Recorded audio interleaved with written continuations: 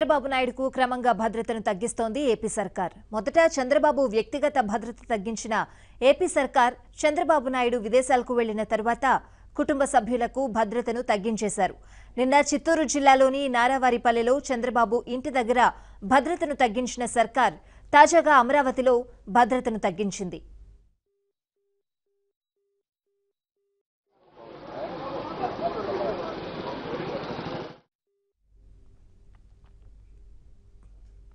అమరావతిలో మాజీ ముఖ్యమంత్రి చంద్రబాబు నాయుడు భద్రతను ప్రభుత్వం మరింత కుదించింది. ఇద్దరు ప్రధాన భద్రతా అధికారులను తొలగించింది ఏపీ సర్కార్.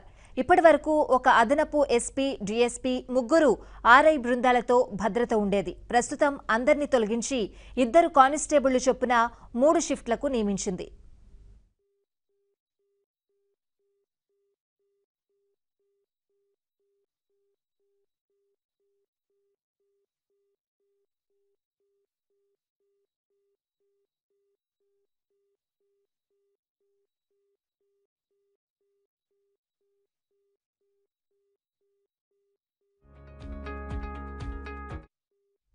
చంద్రబాబుకు భద్రత తగ్గించడంపై తెలుగుదేశం పార్టీ నేతలు ఆగ్రహం వ్యక్తం చేస్తున్నారు.